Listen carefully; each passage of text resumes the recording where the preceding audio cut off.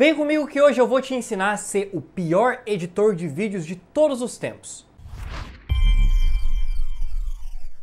Sério mesmo você tá afim de aprender a ser o pior editor de vídeos? Beleza, fica tranquilo, mas antes se inscreve aqui no Brainstorm Tutoriais para você conferir mais vídeos como esse e aproveita e já deixa o seu like aqui que eu tenho certeza que esse vídeo vai te ajudar, mas não do jeito que você está esperando. Algum tempo atrás eu fiz um vídeo falando de três coisas péssimas que todo editor de vídeo ruim faz. Eu vou deixar esse vídeo ali no card para você assistir, caso você não tenha visto. Ah, mas Matheus, você está repetindo o tema. Essa é a primeira coisa que um editor de vídeo ruim faz, repetir os vídeos. Não, não é isso. Aquele vídeo anterior eu falei algumas coisas um pouco mais teóricas e subjetivas, digamos assim, do que nesse vídeo aqui. Esse vídeo eu quero falar de coisas mais técnicas. E a primeira coisa técnica que mais me incomoda e que eu acho que é clássico de um editor de vídeos que é péssimo é o seguinte: o pior editor de vídeos do mundo sempre erra cortes. E eu tô falando principalmente do corte mais básico, que é o jump cut. O jump cut nada mais é do que um corte que representa a passagem de tempo dentro de uma mesma cena. E aí você pode me perguntar, mas Matheus, como que uma pessoa pode errar um corte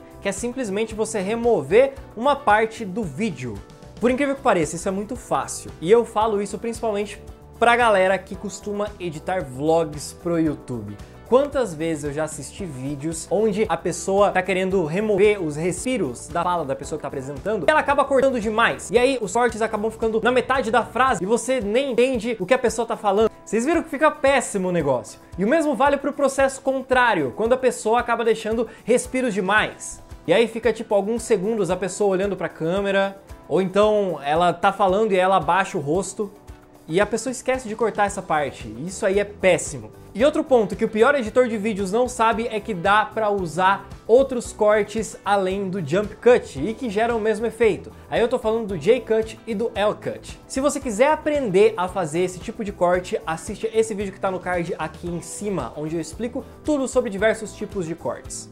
Outra coisa que o pior editor de vídeos costuma fazer também tá lá dentro do software dele. Aí eu tô falando de criar tracks desnecessárias que só poluem o ambiente de trabalho dele. Imagina que você tem a sua mesa de trabalho e você está enfiando um monte de gaveta nessa mesa, você já nem sabe onde você guardou aquela tesoura que você está precisando, onde você guardou aquela caneta. É a mesma coisa na timeline do seu software. Se você tem tracks demais, você vai acabar perdendo alguns materiais, alguns eventos que podem ser importantes para o seu vídeo. E aí você se perdendo dentro da sua própria workspace, você perde tempo. E tempo pra gente é o bem mais precioso no audiovisual. Então minha dica aqui é: evite criar uma track única para você colocar apenas aquele eventinho de texto que é o título do seu vídeo, ou sei lá, uma track que você vai colocar apenas um áudiozinho.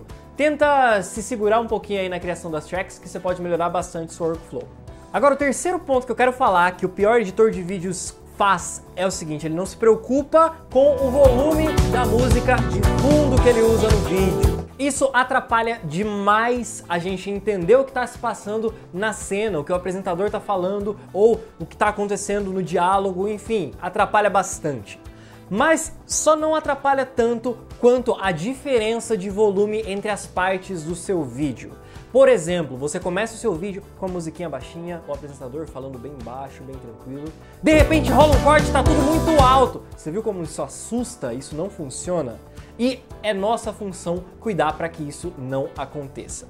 Aí você pode falar: "Ah, mas Matheus, você faz isso na intro do Tips and Tricks, que a intro é muito alta enquanto o restante do vídeo é muito baixo. Por que que isso acontece?" Isso é um princípio básico que nada mais é do que para chamar a sua atenção. É claro que eu tento manter isso dentro de um padrão aceitável para você não ter a famosa surdez temporária quando você está assistindo Tips and Tricks, mas eu preciso ter o volume da vinheta um pouco mais alto do que o normal para chamar mais atenção. Isso é uma técnica que até a TV usa, por exemplo, em anúncios publicitários. Se você for assistir, sei lá, o Jornal Nacional, você vai perceber que enquanto está passando o Jornal Nacional, está num volume tranquilo. Começa o comercial, você tem que abaixar o volume da TV porque está muito alto. E é isso, é porque a gente precisa chamar a atenção do espectador. Então, em determinados momentos, isso pode ser necessário. Mas use com cautela e de forma precavida para você não deixar ninguém surdo. E eu tenho um bônus para vocês, mas antes disso, só lembrando que se você se identificou com algum desses problemas que eu acabei de falar, eu tô deixando aí na descrição um cupom para você utilizar no meu treinamento de edição de vídeos essencial, que já é super acessível, mas se você colocar o cupom pior editor, você consegue 20% de desconto para começar esse treinamento. Então aproveita aí. E o bônus que eu quero falar para você é uma coisa assim que eu não culpo muita gente porque é um pouco mais técnico do que tudo isso que eu falei. No caso, eu tô falando de cor. Pior editor de vídeos no mundo não se preocupa com as cores do vídeo e acaba deixando a pele da galera verde, acaba deixando o branco azul, acaba fazendo com que a cena fique toda preta ou toda branca, dependendo da exposição. Então é muito importante se preocupar com a correção de cores do seu vídeo para você não ser o pior editor de vídeos do mundo. Mas se você quiser ser o pior editor de vídeos, é só seguir tudo isso que eu falei para vocês de coisas ruins que editores fazem, tá ok?